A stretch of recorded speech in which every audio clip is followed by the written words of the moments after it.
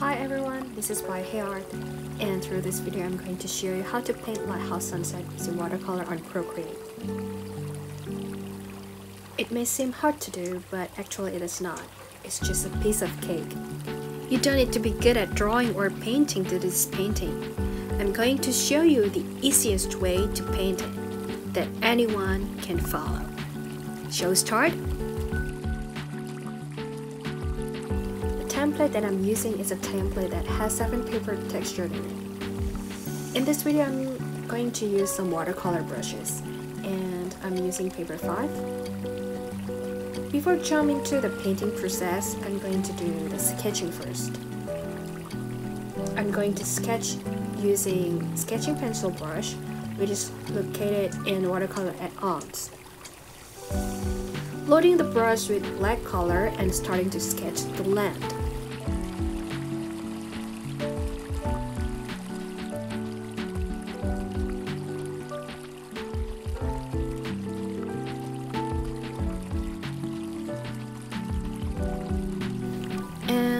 Now I'm going to simply draw the lighthouse.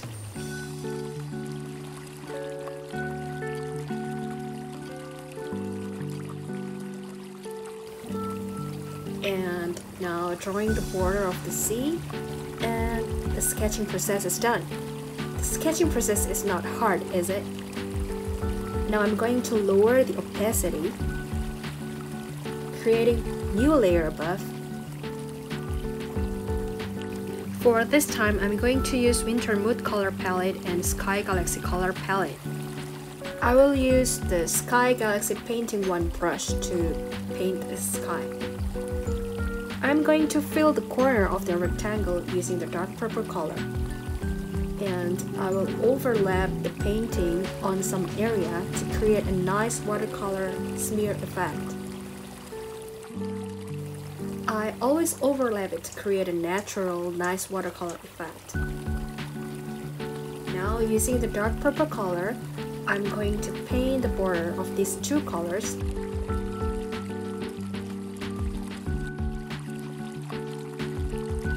and fill some of the empty spot near them. Picking a soft blue color and painting the empty area below and overlap a little bit to the color above. I'm going to paint the sunset part, so I'm going to pick magenta color to paint the upper part of the sunset. And again, overlap it to the color above. Using the same method, I'm going to paint the sunset area. Picking a nice orange color and apply it. Light yellow color for the bottom part of the sunset.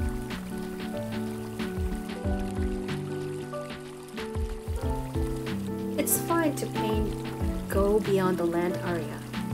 We can fix it later when we paint the land. I think something is missing here, so I'm going to reapply some light yellow paint on it.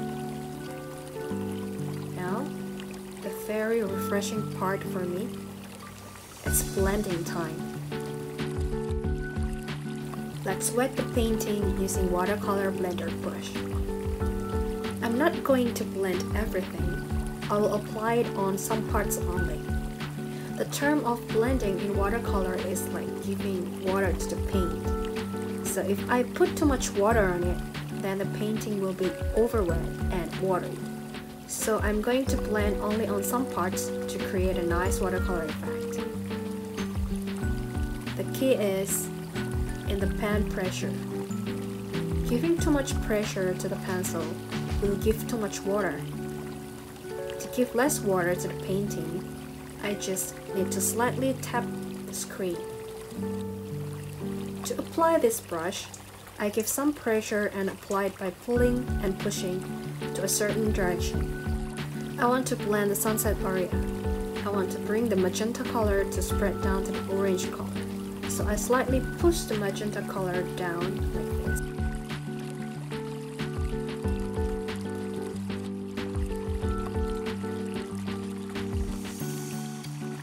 and I'm going to bring the magenta color spreading up to the blue color by slightly pulling it up. And on this part I'm going to give more water which means that I will push harder You can see the difference between giving much pressure and less pressure. You can play around by your preferences. Overlapping the paint will create a nice watercolor effect. It makes the painting to look like a real watercolor painting.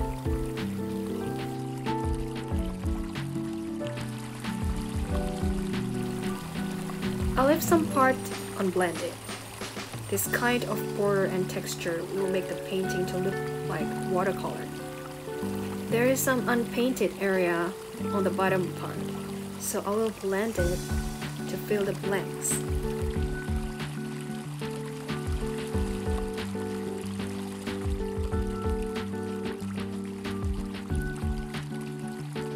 And now, let's paint the land area. I will pick a nice dark brown color in the winter mood color palette and grab the pigmented 2 blended brush. Number 2 means that the brushes can be loaded with two colors at once. So there will be two colors applied at once. And I will load another color for this brush. I will pick light brown color. If I clicked the light brown color here, the light brown color will be the first color. If I want to apply the first color, the light brown color, I just need to press slightly. When I want to apply the second color, the dark brown color, I need to give more pressure to the pencil. So I can apply two color at once by playing with the pen pressure. And now I'm going to paint the land turning down the size and start to paint by playing around with pen pressure.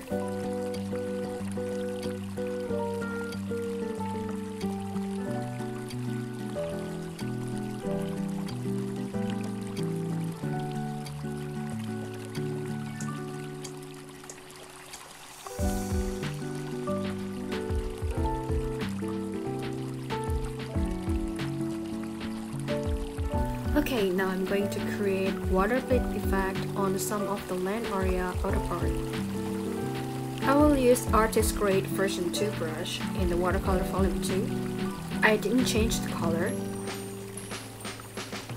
Using this brush, I'm going to blend the inner part first. This brush has two features. It can be used as a blender and it can be used to paint at the same time.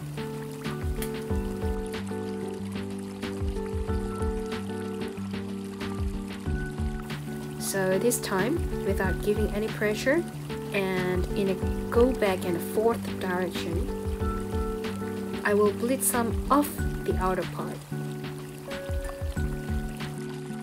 If I apply it without giving any pressure, it can be a blender. And when I give some pressure, it will apply the color.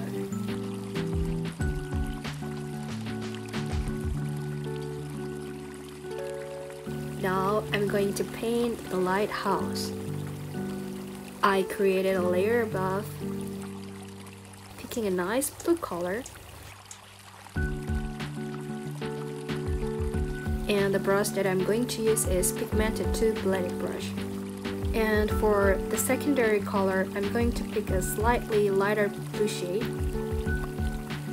The left one shows how the real color looks like and it is recorded directly from my iPad screen.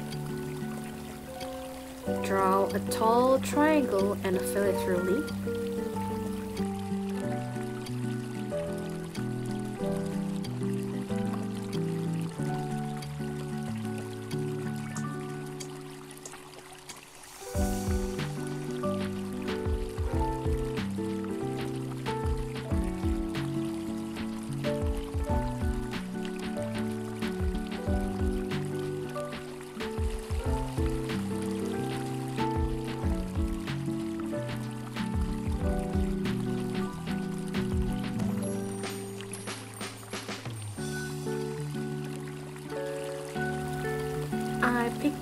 white color and grabbed round, edgy, even color brush to draw the line. This brush is a solid color brush. It has no transparency. Whenever I need to paint evenly, I use this brush.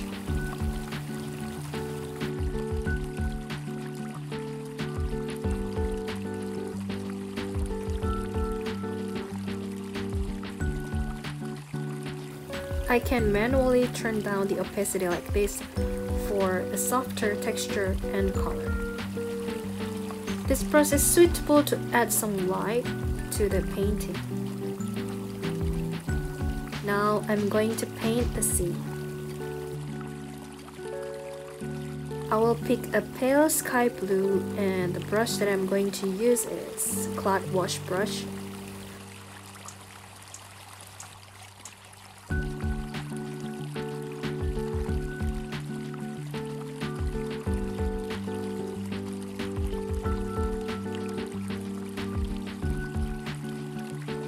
I varied the pressure to paint the sea. Using this method, I can create a nice and natural watercolor wash. I think the bottom part of the sky seems to be too plain, so I'm going to reapply the same color on it.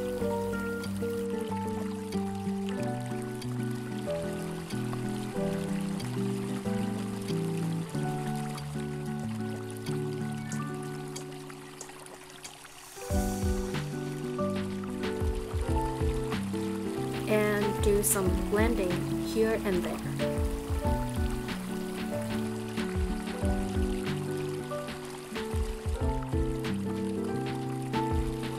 And now I'm going to group all the layers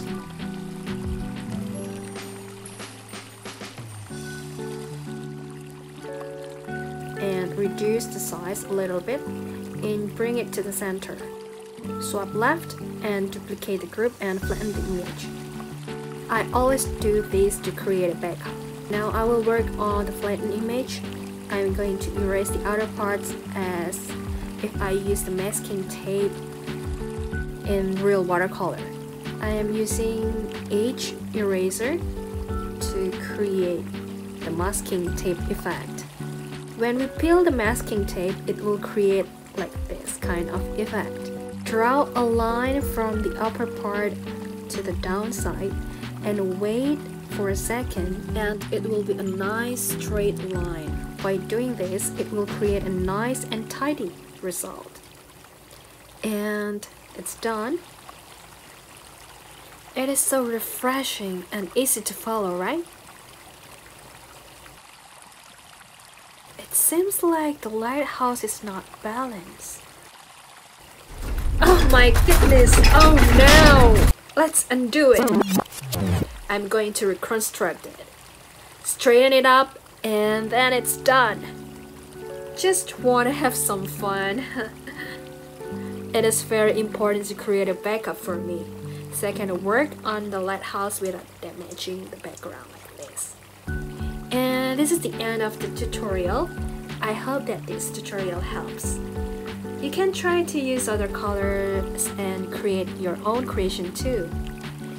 Please support my channel by liking this video and subscribing to my channel. And please turn on the notification too. See you in the next video.